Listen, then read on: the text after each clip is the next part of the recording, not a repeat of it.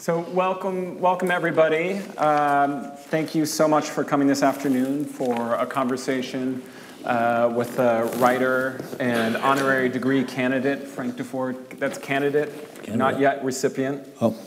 The, there, there's, I could blow it. Yeah, you know, the, the, the, registrar was in touch. There's something about a physics exam that hasn't come in yet. Uh, I am I'm Gage McWeeny. I'm a professor in the English department at Williams College, uh, where I specialize in Victorian literature but more to the moment, I drew the golden ticket in getting to host this conversation with a writer whose work I grew up with, um, that I admire greatly. Uh, so it turns out there's one perk, anyway, to being the chair of the Williams College Athletics Committee. Uh, I think that's the only perk, uh, other than working with really great people. Uh, so Frank, Frank Deford is the author of 18 books. I think that's right, yeah? 18 people that's, that's approaching Charles Dickens level productivity. right? And if that weren't enough, he's a monthly commentator on NPR's Morning Edition, senior correspondent on the HBO show Real Sports with Bryant Gumbel, and senior contributing writer at Sports Illustrated, where he began his career in 1962 straight out of uh, Princeton University, from which he graduated. He's been elected to the Hall of Fame of the National Association of Sportscasters and Sports Writers and voted U.S. Sports Writer of the Year six times. So, GQ magazine called Frank Deford, quote, the world's greatest sports writer. So if you, if you got a belt for that title, like the heavyweight champ belt, uh, GQ, that'd be a good place to get it from. That would be a nice belt. Uh, but sports writer is just part of his writing profile. He's written nine novels and a nonfiction book about the Miss America pageant, as well as a book about his daughter Alex, who suffered from cystic fibrosis. His most recent book is a memoir called Over Time, and I, re- I really recommend it to you. Uh, Frank Deford has received numerous awards for his print and broadcast journalism, including the National Magazine Award for Profiles, an Emmy, and a George Foster Peabody Award. In 2013, President Obama honored Frank Deford with a National Humanities Medal for, quote, transforming how we think about sports. Two of his books, the novel Everybody's All American and Alex, A Life of a Child, his memoir about his daughter, have been made into, into movies or television. Sports Illustrated named Everybody's All American one of its top 25 sports books of all time. And he is chairman emeritus of the Cystic Fibrosis Foundation, having served as its national chairman for 16 years. So it's worth underscoring that, that Frank Deford is a rarity among writers. That is, most writers find their, their, their niche, uh, their genre, and they stick with it. So the poets stay out of the way of the novelists, and the novelists try not to poach on the playwright's turf. Uh, but Frank Deford plays the field. That is, he ranges from sports journalism to novels to sports criticism, what I would call sports criticism, and the manner of literary criticism. Uh, for NPR, I think this is right, he has written over 1,600 weekly commentaries for NPR's Morning Edition. That is an amazing number. uh, he's also written memoir, television, radio. So it's famously been said of another epically untiring and universally admired writer, Charles Dickens, that even the record of his conviviality is exhausting. So I promise, I won't keep doing this, like the Victorian novel stuff, but, but, but Frank's NPR column is called Sweetness and Light, and that is a reference to Victorian poet and critic Matthew Arnold. So I'm just doing my job here by bringing the Victorian stuff in. Okay, fortunately for us, the record of Frank Deford's writing is lengthy, but anything but exhausting. It's just the beginning of our event this afternoon. Frank, welcome to Williams College. We're so glad to have you here, and thank you for taking part in this conversation. Um, I think the, the format here, what we'll do is I'll ask a few questions, we'll, we'll get things going, um, and then at some point I think we should open it up to the audience, uh, who I'm sure will have, will have questions as well. And I think we are scheduled, uh, we, we, we need to be out by 4.15 because I think people have other places to be. I know I have other places to take, to take you. So the first question that I wanted to ask, it, it, I was just interested in hearing you talk about uh, like being a fan and the relationship between being a sports fan and being a sports writer.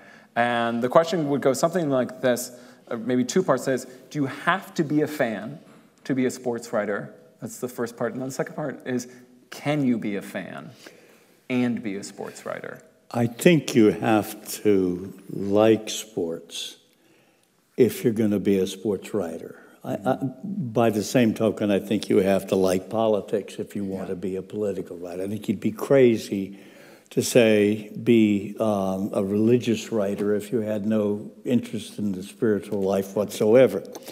Um, having said that, then you have to divide yourself, mm-hmm. uh, and you're not supposed to to root. The expression is no cheering in the press box. Mm-hmm.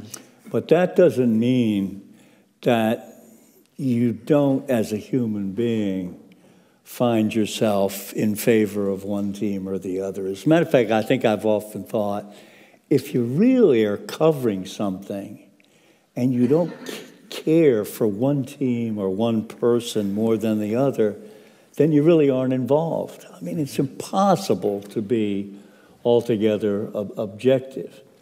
The trick then, though, is that when the, when the game is over, that you've got to write about it without showing, you know, your, your, your affection.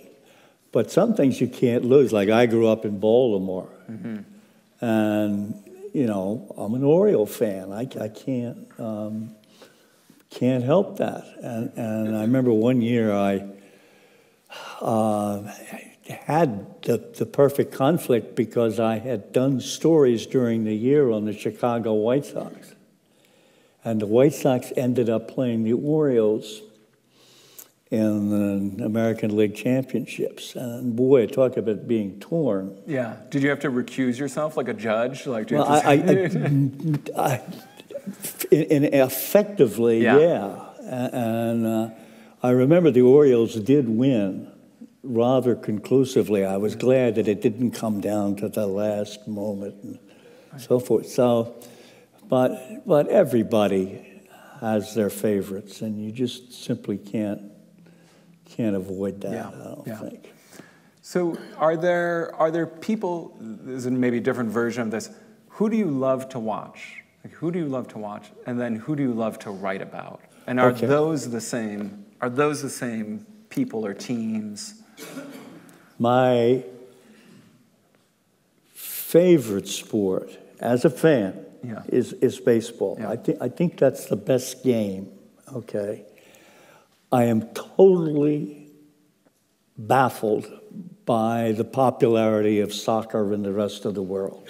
Yeah, you're going, is that straight it, for the controversy. It, yeah, yeah. It's incomprehensible to me yeah. yeah that the favorite sport of human beings is one that we play with our feet. Yeah. And we do everything else with our hands. Mm. It makes no sense to me whatsoever, though I'm quite aware of the fact that if I was had been born in Barcelona right. or Sao Paulo, I would be following those, you know, soccer players and right.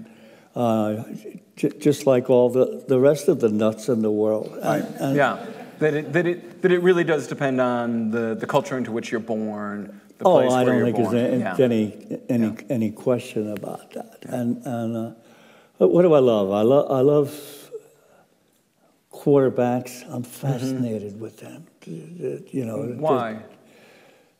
Standing, uh, probably again, this goes back to your youth. I mean, you always remember.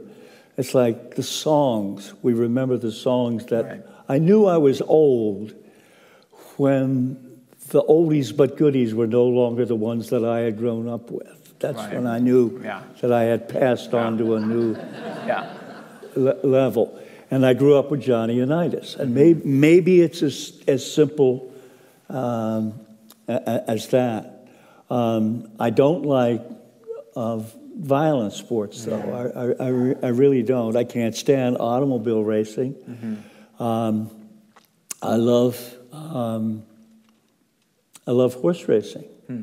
and again, I, I, I grew up with that. So. Uh, the great ones who come and go uh, in any sport uh, attract me just just because they're so good. Yeah. I think I can remember talking to, to Boog Powell, the old Oriole, uh, who had been good enough to be most valuable player one year. And I said to him, I said, I simply don't understand how you hit a baseball thrown 95 Yeah. miles an hour that darts and and he said, you know, and, and now he's an old man, and he said, I stand there before the game at batting practice, and I don't understand how I ever did it. That's and and and I, we, you have, it's just amazing to me how good, good athletes are. This guy Stephen Curry, is is like an alien. Yeah. no, it's true. It's true. That is, you, you, one gets the sense that he made a pact with the devil somewhere. Yeah. Right. And I he's mean, just uh, shooting yeah. these shots. And you're like, well, this is going to be a good life he, for he you. reminded me of Jerry West. Yeah. But then he's gone beyond that because Yeah. he can shoot 10 feet further out. And and uh, I, it's so, So you were, so you are, one, one could imagine that after, after many years, after writing about just about everybody that you could want to write about, right? One of the great things you mm-hmm. wrote for Sports Illustrated, you tell a great story in, uh, in your in your book, the memoir, about you know just going down to interview, and they're happy to send you over to Sports Illustrated over there at Time Inc. because it's the kind of like basement, you know, sort of publication. They're surprised essentially anyone wants to work for Sports Illustrated. Yeah. Uh, but then it becomes this enormous magazine, right? A, a cultural phenomenon in its it own was right. Helped by read. the swimsuit issue. That, that maybe had something to do with it. Uh, but it's and it and it persists, right? It's still. I mean, it's it's going. It's it's it's keeping it's keeping going. I mean, later maybe we can talk a little bit about how sports journalism has joined has changed. But the thing that's impressive or is, is amazing is actually you you maintain a sense of wonder that is about around sports. It doesn't get old for you. You don't think, oh, Steph Curry, he thinks he's amazing. You really should have seen so and so. yeah, that but, guy but, was but by the same token, Gage, you're not going to catch me watching the Memphis Grizzlies Right. play the Houston Rockets in February. Yeah, yeah. I mean, hardly anybody's getting caught Uh, Yeah, watching I that mean, game at this uh, point. Yeah. I think the the older I've gotten, the longer I've been around, the more discerning I've gotten about Mm. the events that I wanted to to to, to see. Um, I, I saved myself for the, you know, like the fifth and the sixth and the seventh games of a series, and then in the beginning I'll, I'll just read about them. I Right. mean, you, you, yeah. after a while you do get jaded Mm-hmm. and, and, and but i remember as a kid sports writer listening to all the jaded old guys and i said i will never do that I- and, and, and i can't stand guys saying well it was you know so much better back then and and that's a, a, a tendency that we all have Yeah. Yeah. Though the difference with sports writers is like if you want to talk about Johnny Unitas, you can find people who will talk about that, who will be very happy to talk about, right, an, an old player. You want to talk about the 86 Mets, right? You can find some people to Oh, talk about those about those Mets. My daughter would be glad to come here. She wasn't alive then, but she'd be glad to talk about those Mets. That's interesting. Um, so I know she was cur- she was you know her her her her grandmother made her a Mets fan, and I thought, what have we done to this child? This is terrible. And then last year happened, and I thought, well, she knew she knew what she was doing. But but for sports, right, you can talk about. Um, yes you know, athletes who, who, whose greatness, I mean, it's such a short time, right? For any athlete, how many years of greatness does any athlete really have in them? One might say, oh, a great 10 year career, that's, That's a long. long That's a long career. That's not much of a life, right? Like of a, of, a, of a lifespan. So it's No. always fading. It's always like out of, you know, you're just glimpsing it. And you, you, you've, you've talked a little bit about how hard it is to interview young players. well they, They haven't- haven't, they haven't haven't lived. Yeah. And, and, and if they're any good at a young age, it means that they were always good. I mean, mm-hmm. from the minute, from four or five years old. And, and all they've had is success. And they've just beaten everybody at that point. And so yeah, it isn't their fault. It, it really isn't, but I would much rather talk to the grizzled veteran, the managers. Those are the ones with, with, with good stories because they've been failures, you know, and, and, and they've had hard times. And the, the worst thing you can do is, is, is try to make something out of these kids who are nothing right. but, you know, great athletes. Yeah. They're, they're just molecules that, that are put together the right way. Right. Yeah. Yeah.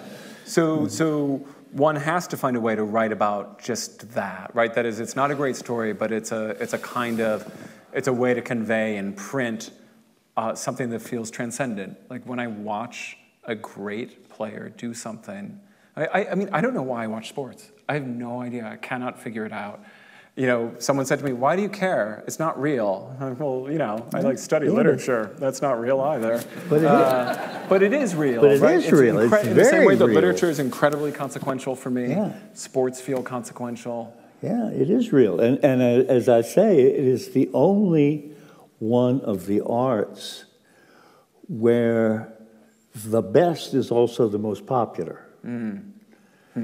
Right. There's no the like best indie, books indie are not the best, yeah, right.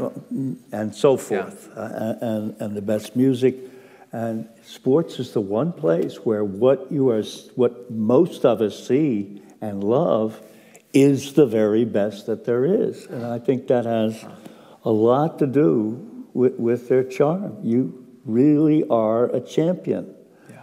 and just because you have a number one record doesn't make you a champion.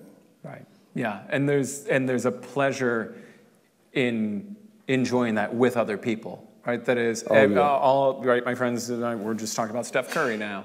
Uh, because he's such an amazing shooter and he's had these incredible performances. And there's a pleasure in everyone saying, this guy is incredible. And you can see yeah. it. Yeah, it's there. I mean, sports is pretty, pretty obvious. Yeah. I mean, you don't, you don't need an academic to explain to you. Right you'll and, forgive me. Yeah, no, no, I'm happy to play that role, yeah. yeah. Why such and such is right. good. Right. It's like explaining a joke. If you have to explain it, yeah, it's not funny anymore. Good joke. Right. Likewise, soccer. No matter how much explaining someone can do, right, you're never going to like soccer. Right? I, I had, I didn't grow up playing soccer.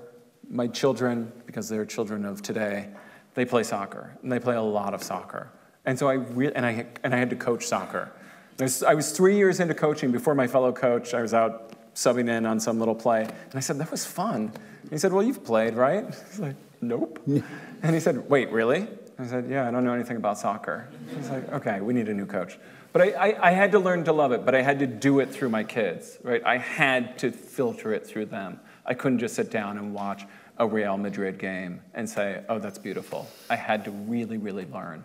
Well, they are amazing work. what they can do with their yeah. feet.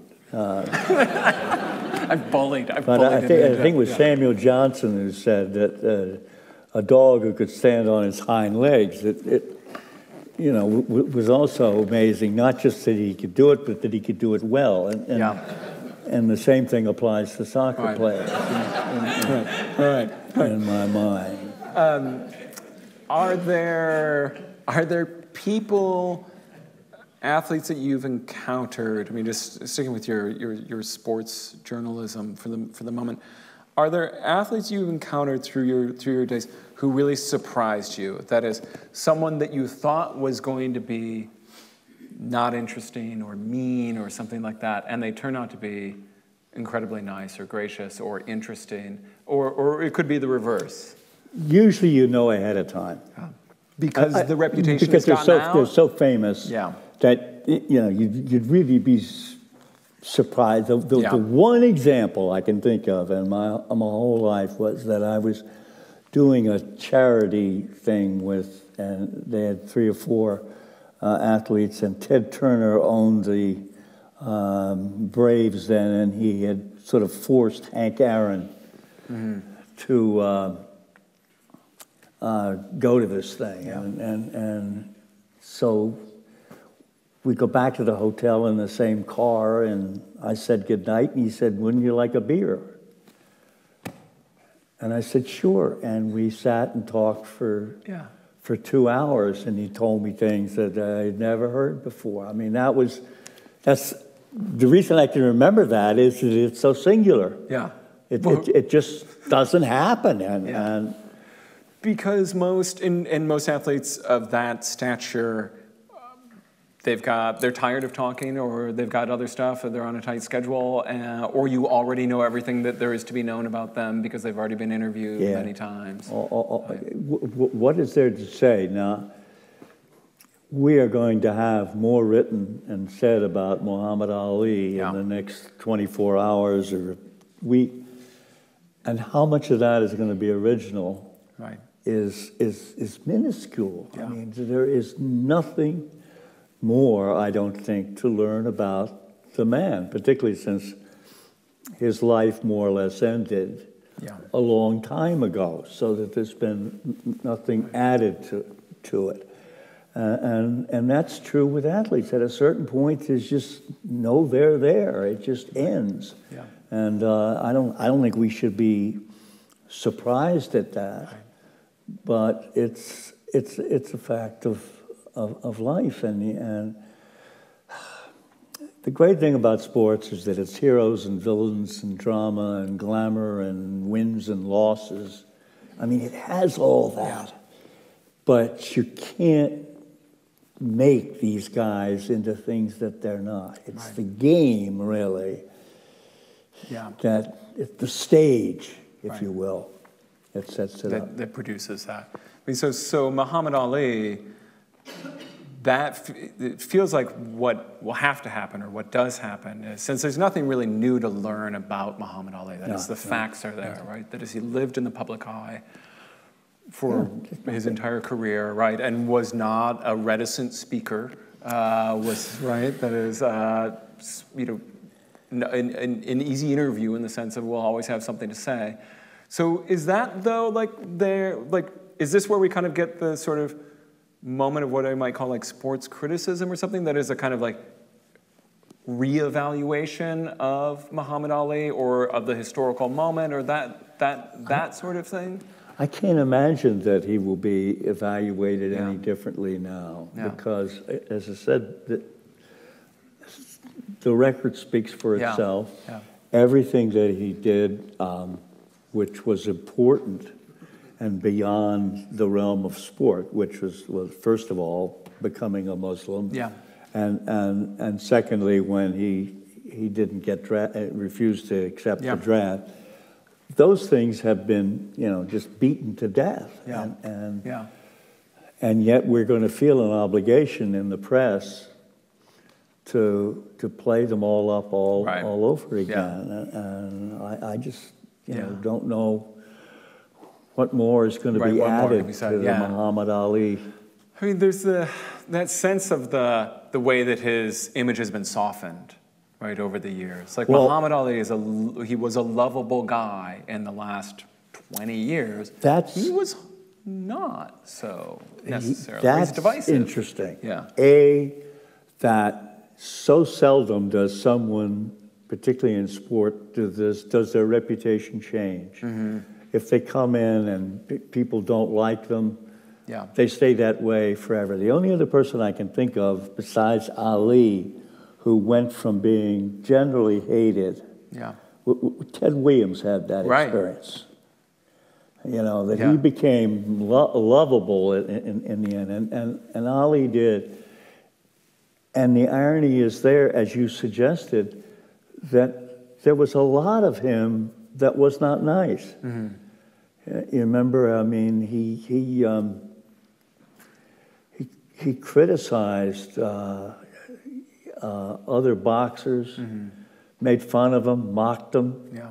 Um, he was not altogether, uh, you know, a, a, a sweet guy, and yet in the beginning, so many people disliked him, especially when he, when he became a Muslim. I mean, there, there was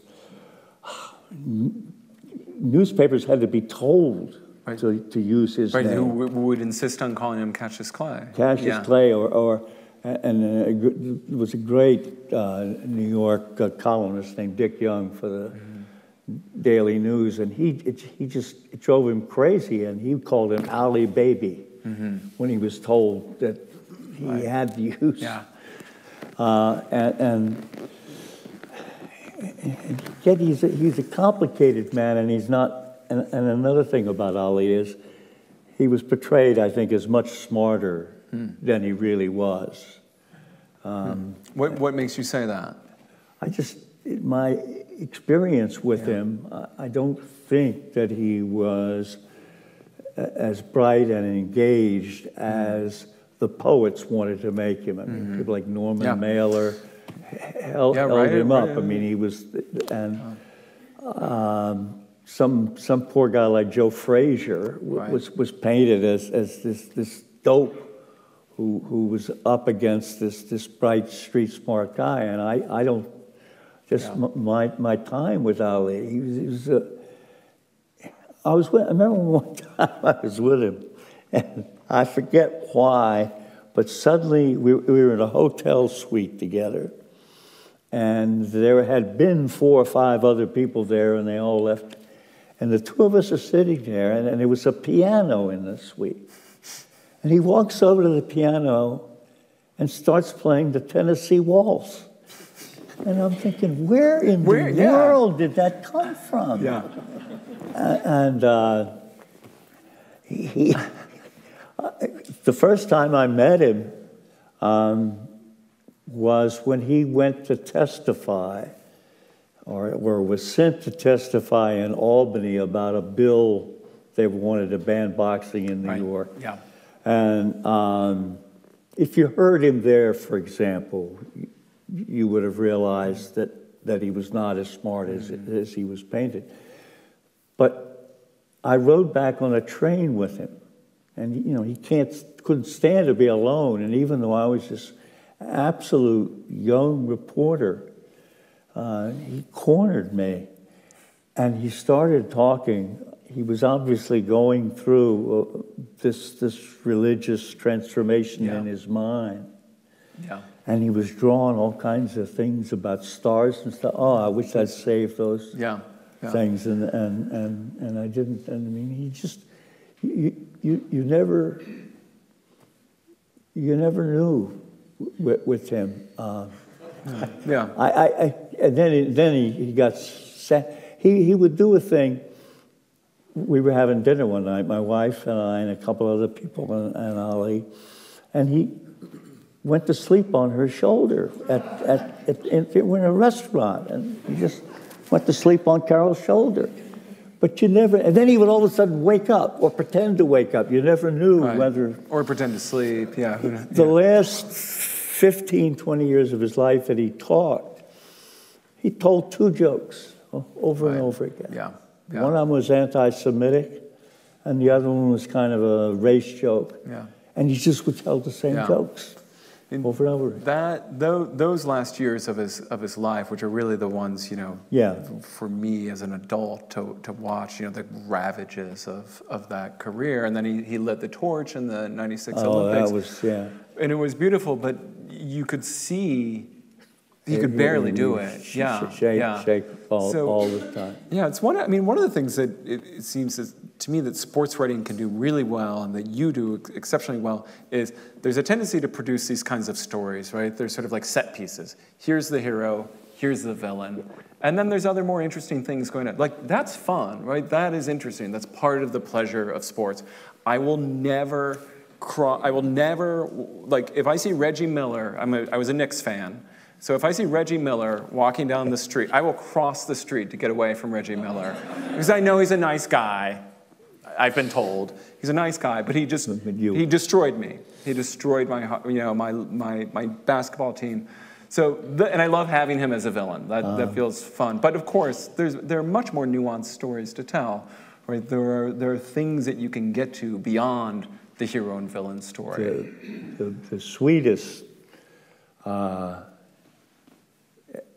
episode I ever had with, with Muhammad, and this goes directly to what we were talking about earlier about how his reputation changed. So, um, this was about probably about 15 years ago, and we were in in Washington, and uh, Neil Leifer, uh, the great sports photographer, uh, who's photographed Ali, in, including that famous one where he beats Liston and is like that.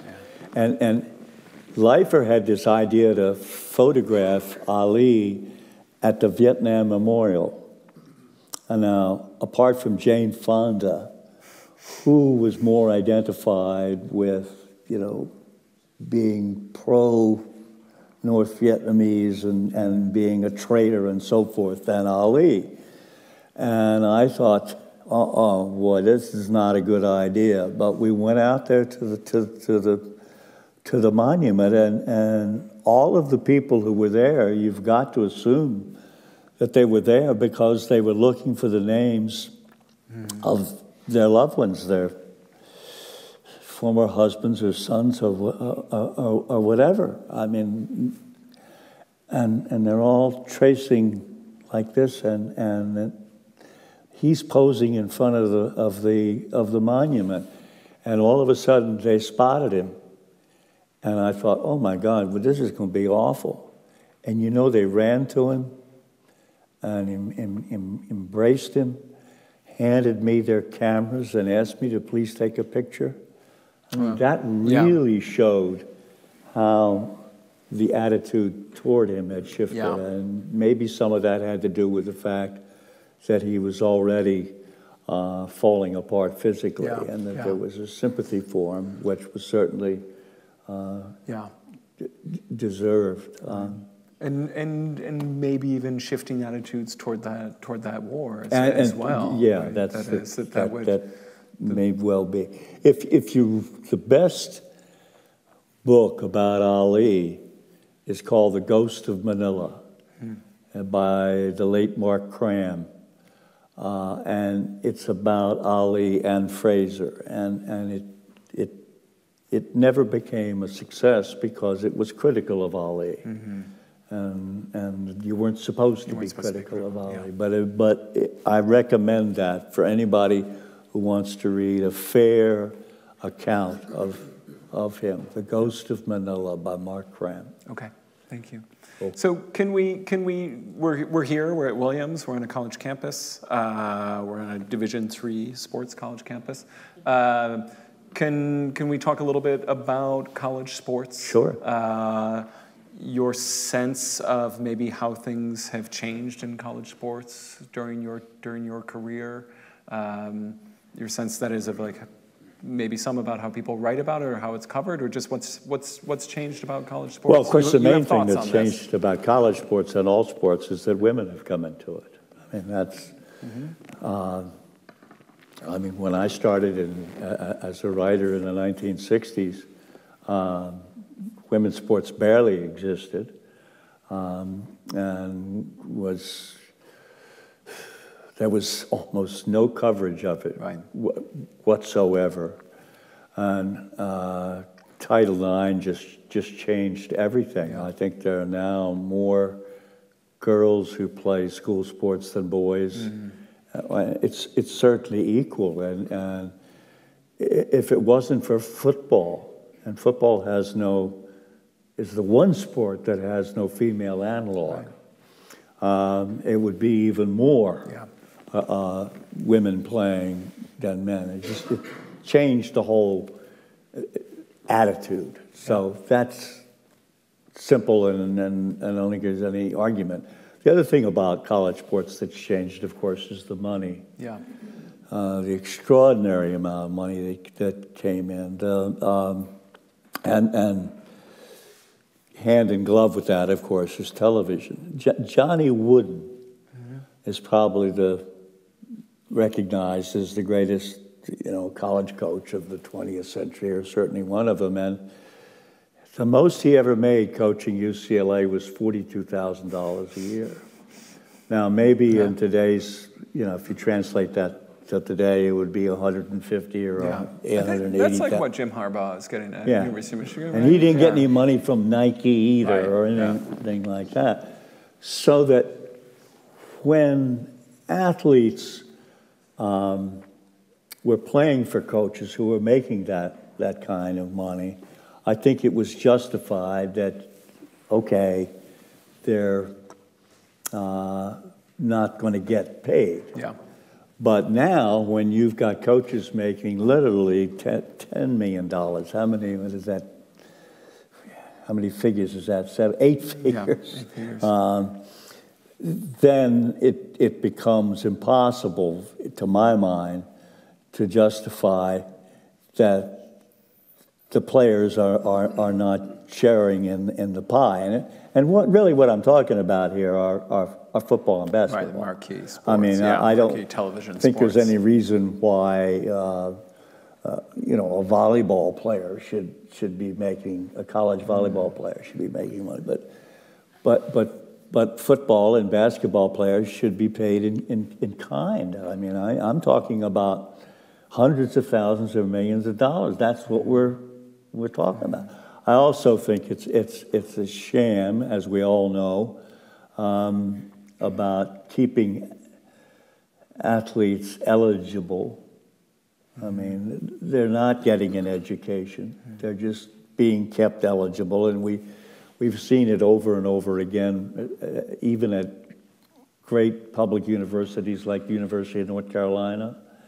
And, and you know very well that if they're cheating at North Carolina, they're cheating at a lot of other places too.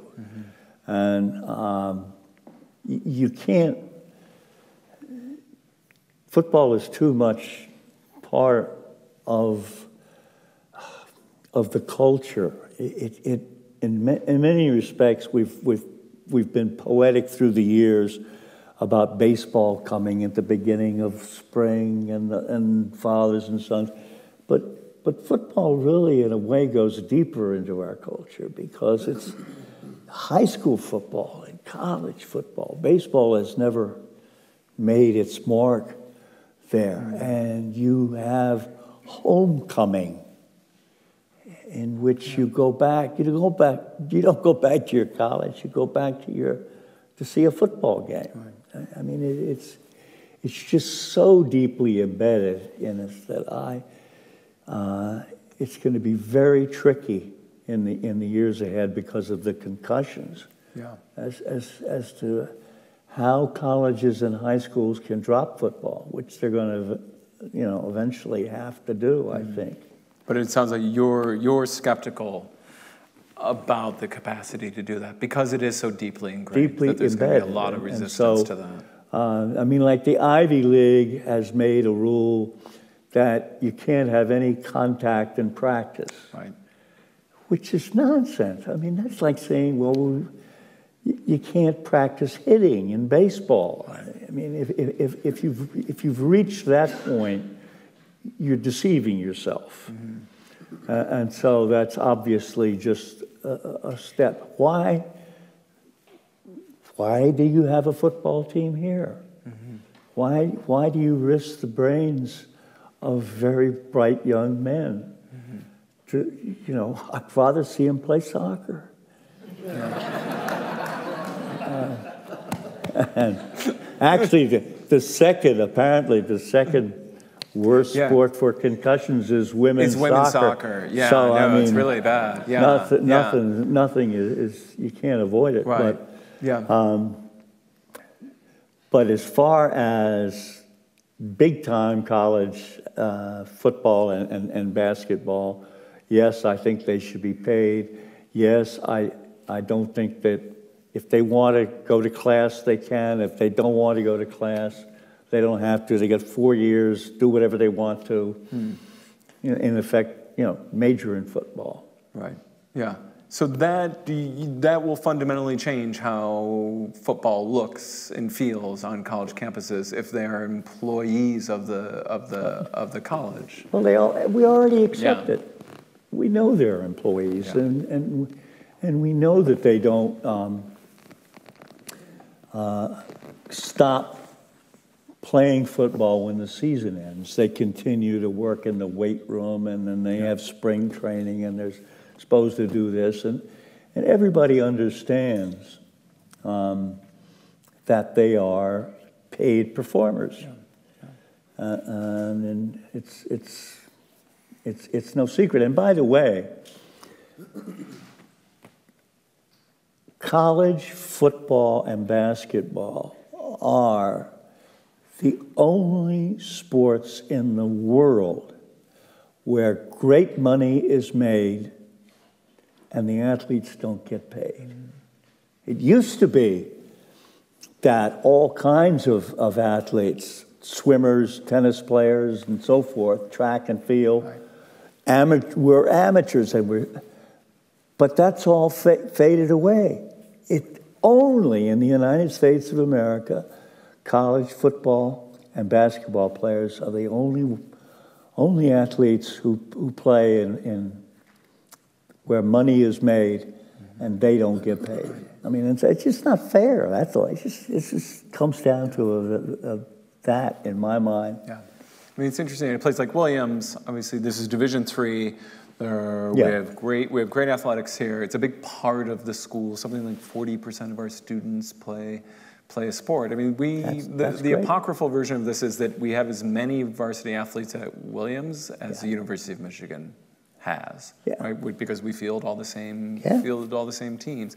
I'm sure that can't quite be true, uh, but so there's not money being made, but it is the case. I mean, it, it's it's, and I'm curious to know your thoughts on this. Like, it does feel. I, I even see with our my our student athletes here that there's a lot of out of season work that's going on, right? Off-season oh, work, oh, yeah. right? So that the idea that you would play two sports, that seems to be fading. That's even gone, at, yeah. Even the, the, the, the old three-sport yeah. athlete. Yeah. yeah.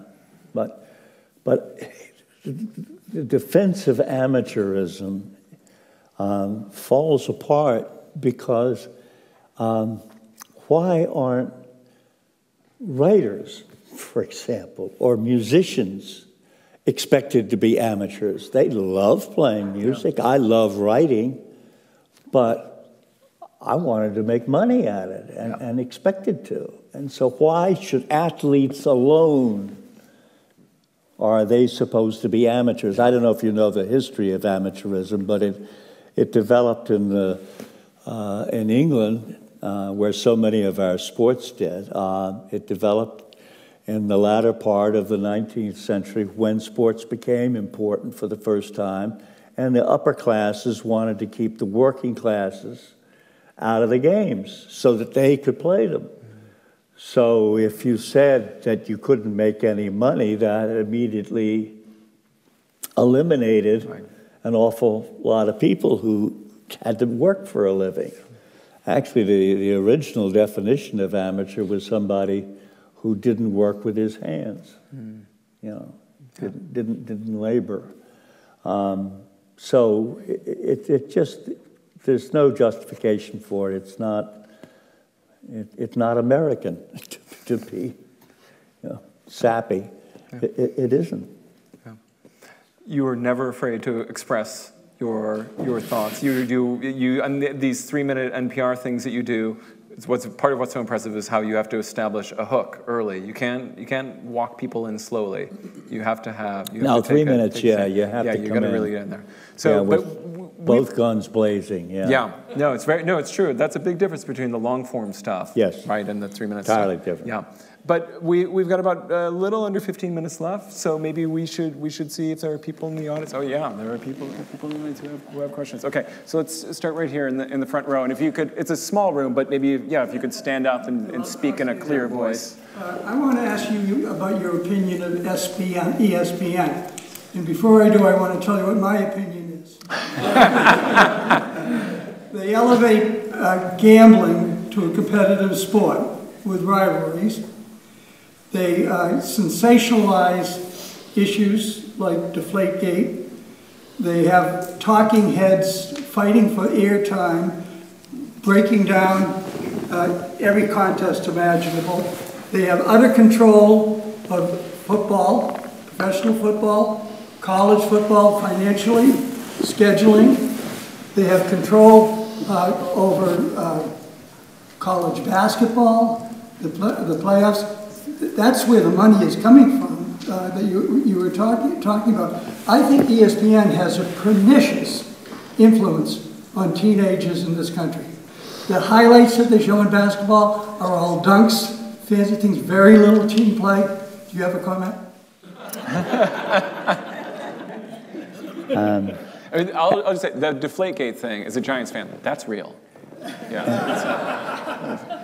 Actually, they've suffered ESPN has suffered yeah, some financial yeah. uh, difficulties recently, um, which is uh, a change from the past when they were just printing money.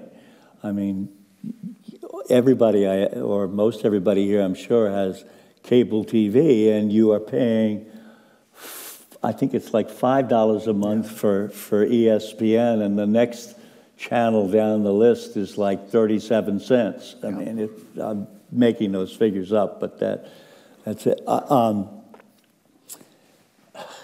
ESPN is really, I mean, I, dis, I don't disagree with anything that you say, except it's, it's, it filled the void.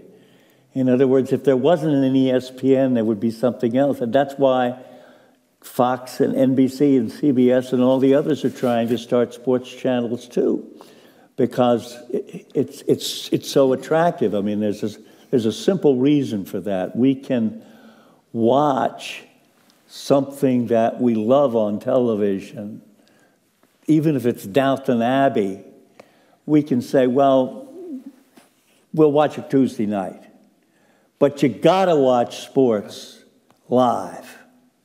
And that makes all the difference in, in the world, in, in the media world today. It's the one thing that you gotta watch live. Well, maybe Donald Trump found out that, that debates were and, and, and charged for it. But, but essentially, that, that's it. And, and, And ESPN, uh, keep in mind too, ESPN, you are not their audience. Their audience, as you said, is kids. Yeah. And there's constant news. Yeah. There's always news. Yeah, always. Right? Yeah. Yeah. Oh, here in the front row. So one of the, one of the things I like most about you is your ability to talk about the personalities of the people. I'm from Minnesota, but you're talking to primarily a New England audience, and you mentioned villains and heroes. Yeah. What are your opinion of Bill Belichick and Tom Brady? Uh, It- Belichick has always been shady.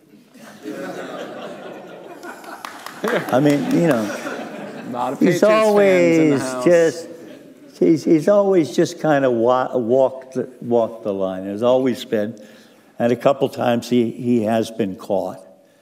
Um, the other side of the coin is he's obviously a brilliant coach. He's obviously he's amazing the way he seems to know when to get rid of players and and when to pick up players who nobody else uh, could see the value in them. So that that part is is just indisputable that he's he's the top of the tree. Um, Brady, I- I mean, is, a, is an extraordinary quarterback, and we won't dispute that either. I don't see how those balls could have been changed without his recognition. I just don't see it. I mean, I'm, I'm you know, The piercing blue eyes. Yeah, I somehow just mean- it, Yeah. I I don't know how they were changed. The guy goes into the men's room and all this stuff, and and and but there's no way that some little you know spirit carrier is going to take the air out of balls unless Tom Brady has told him to or gotten the word to him to. So I'm sorry, but you know that's and he's he's and also I would say he's very good looking. But yeah, that, that, that alone could do it. to- Yeah, to- that's- yeah, to that's- the- to the- So right, right here in the center, yeah. Just want to say, I'm so happy to see you in person and hear you. I listened to Morning Edition, and I would drive to the office and wait for you to finish at two minutes, of- two seconds of nine, and run into my office at nine o'clock. So I couldn't leave you, I would be just riveted to NPR, and couldn't wait to hear what you had to say. So you certainly do have the hookers in there. We're- we're with you. Well, thank you Yeah, very bring much. On. So many people hear me when they're brushing their teeth or otherwise performing their morning ablutions and stuff. And and uh, It's, I- it's an intimate thing. Yeah, yeah. It's, uh, yeah.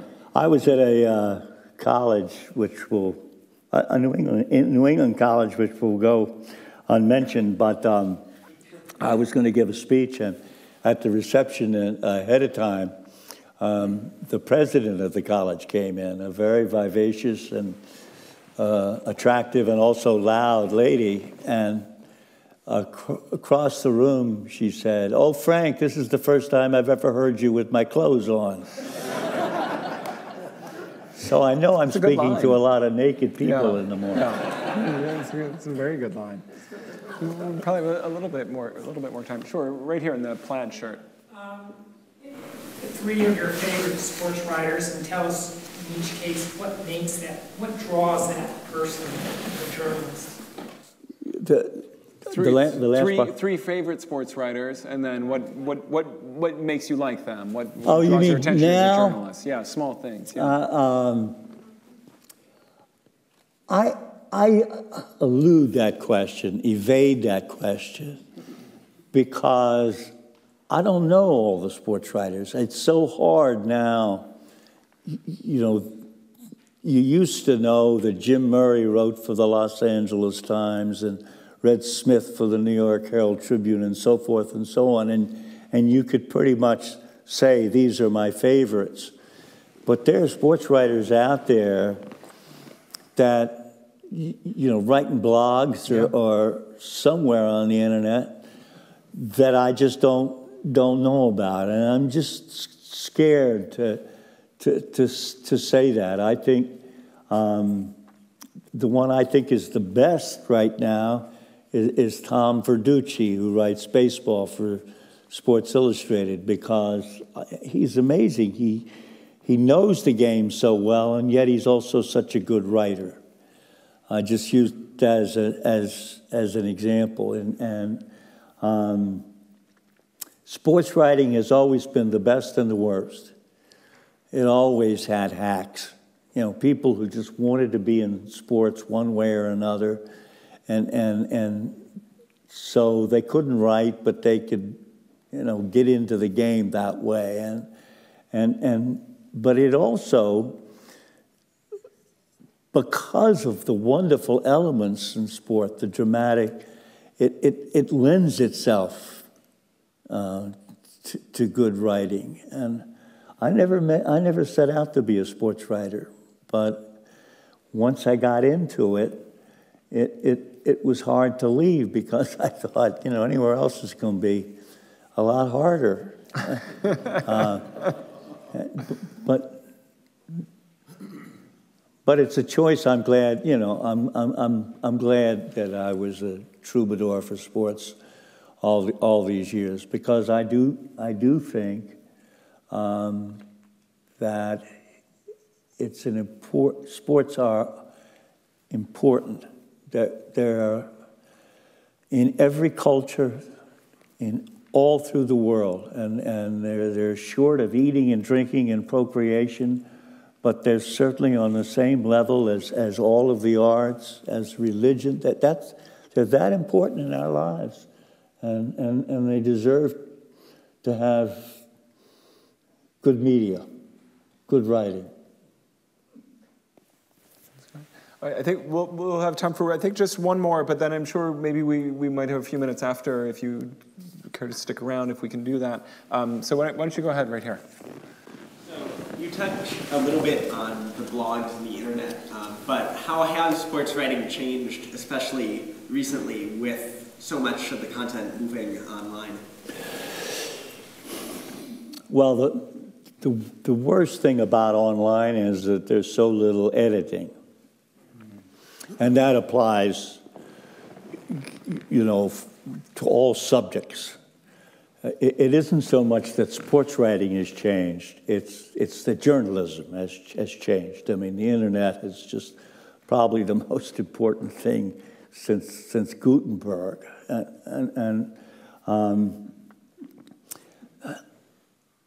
but to be specific about sports, um, the, I think there's too much expertise in the writing now. Everything is numbers. Numbers just overwhelms everything else.